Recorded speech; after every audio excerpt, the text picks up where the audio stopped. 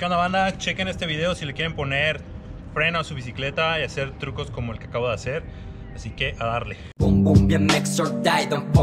Y bien amigos, pues vamos a empezar con la instalación. Es una instalación que toma alrededor de unos 20 eh, minutos hasta una hora dependiendo tu habilidad con mecánica pero no es imposible, así que vamos a darle. Pues bien amigos, para este tutorial lo que vamos a necesitar es un freno, obviamente, y tengo la manija de dos dedos monolever de Odyssey. Siempre me ha gustado Odyssey para todo lo que tiene que ver con frenos y todo eso.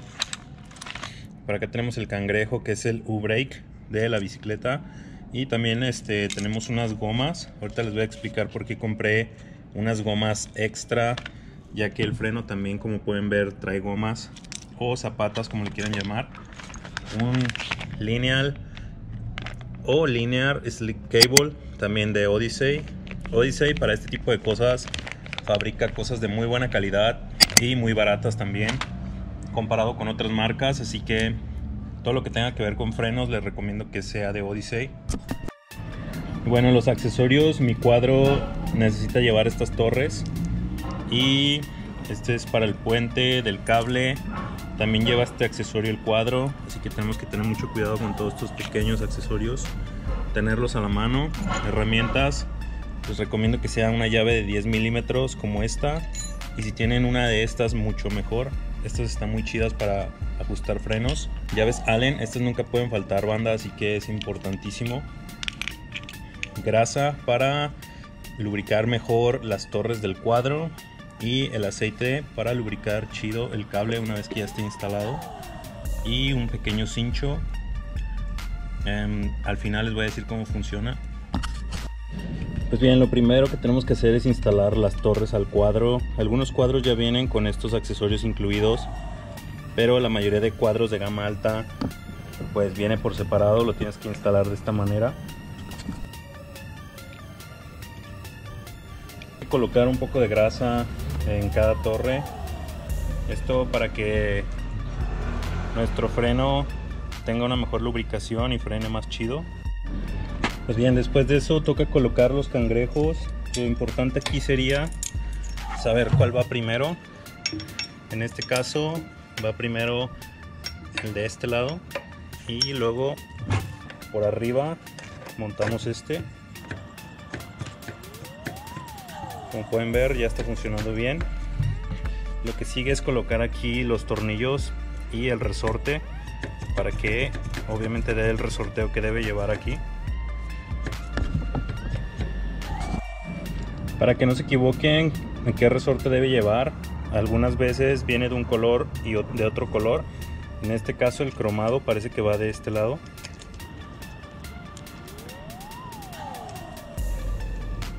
Tenemos que darle tensión al resorte y simular que la bici está frenando. Si el freno regresa quiere decir que sí es el resorte indicado. Vamos a poner el tornillo y lo vamos a apretar bien ahorita con las llaves Allen. Bien utilizando estas llaves inglesas las colocamos de esta manera y apretamos al mismo tiempo y le damos tensión al freno de esta manera. Un poco de tensión y luego apretamos el tornillo de llave Allen.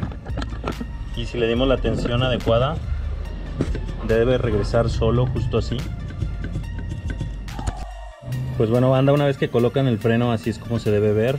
El cable este que va aquí se llama puente y debe pasar por adelante de este tubo y bueno el puente lo que hace es jalar el freno como ven y lo que sigue aquí es poner el cable lineal de Odyssey así que vamos a dar Bien, les voy a explicar la tecnología de esta manija Odyssey. Lo que tiene es dos salidas para rotor, para este cable doble. Que bueno, si quieres instalar rotor sería muy útil. Pero en este caso yo no lo voy a hacer, así que no voy a utilizar este cable. Y bueno, la manija como pueden ver es una manija corta de dos dedos con una bisagra.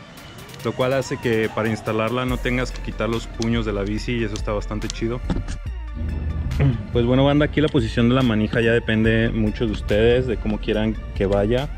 En este caso a mí siempre me ha gustado que vaya un poco hacia abajo, pero puede ir como ustedes quieran. Como ven es para dos dedos. Esto está más chido porque cuando quieres hacer trucos no te va a pegar la palanca en los pies. Por ejemplo para hacer tour down y esa clase de trucos está más chido así. Y bueno, con respecto al cable lineal, el cable ya trae la medida indicada, adecuada. Así que yo no les recomiendo cortarlo, pero si ustedes lo quieren dejar un poco más corto, recuerden que también este, necesitan poner esto en su lugar, estos bloqueos. Una vez que ustedes corten el cable necesitan poner este barrilito otra vez justo ahí.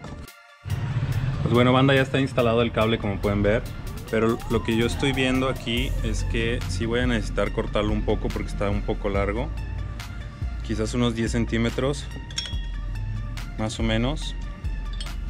Porque también de nada sirve que esté muy largo. Es decir, sí te ayuda para que tengas más giros, pero también traer mucho cable aquí colgando no está chido.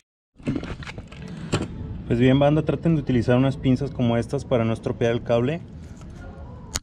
Wow. Tiene que quedar justo así. Como ven el, cable, por dentro tiene teflón esa cosita azul que ven por ahí y unos cables de acero para soportar un poco más.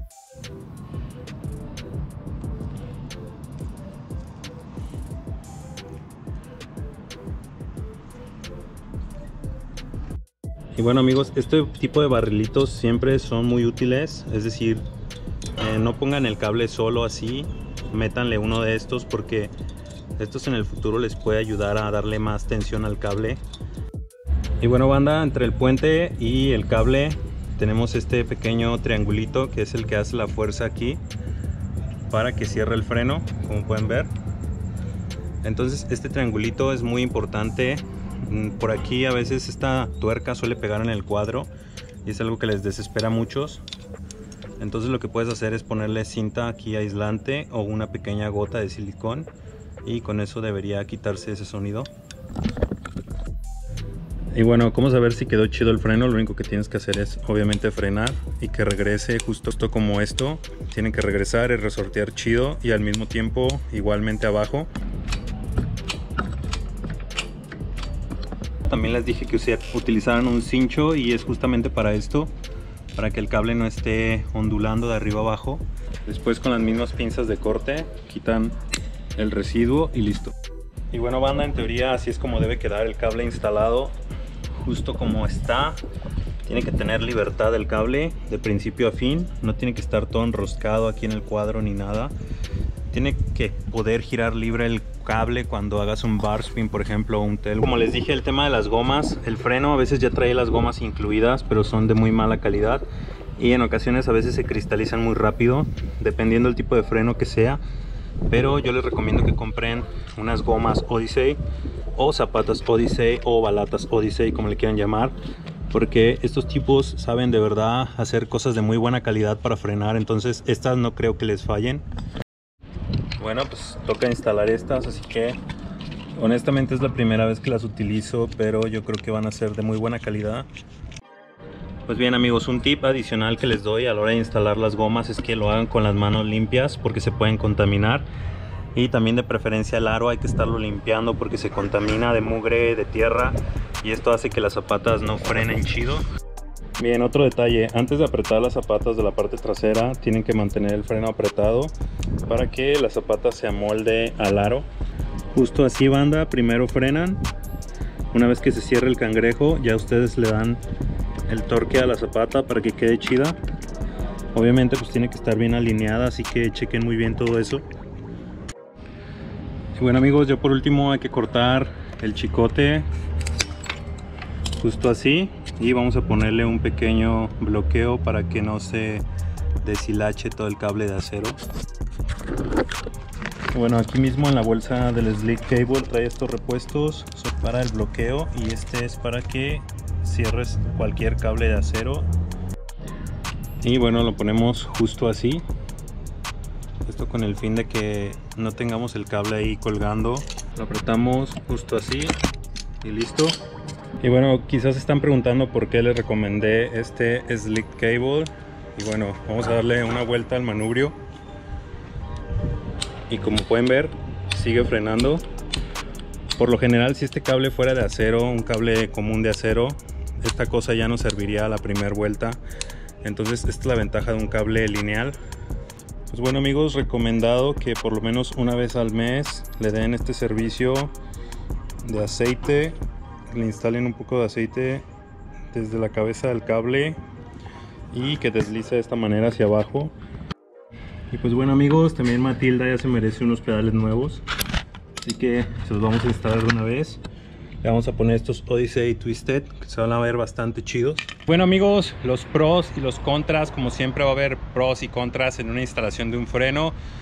Eh, vamos a empezar por los contras. Eh, sube peso a tu bicicleta eh, tienes que aumentar el mantenimiento obviamente. Vas a necesitar llevar herramientas extra para hacer los ajustes. Como te digo tienes que estarle haciendo su servicio cada cierto tiempo entonces es importante tener las herramientas adecuadas. Y bueno eh, los pros obviamente eh, las refacciones de un freno ya una vez instalado son muy baratas. El cable te puede costar unos 10 dólares y igualmente las gomas puedes gastar unos 10 dólares. Y por lo general es lo único que se necesita para el mantenimiento entre un poco de aceite y es todo.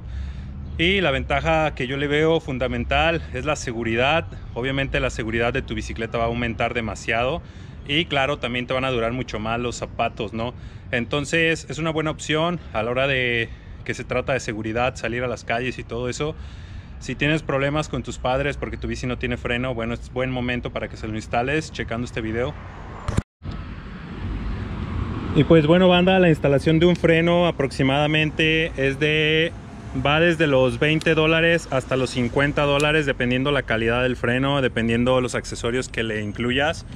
Pero por lo general no es muy caro, siempre hay una opción, siempre vas a poder encontrar una opción barata para ti.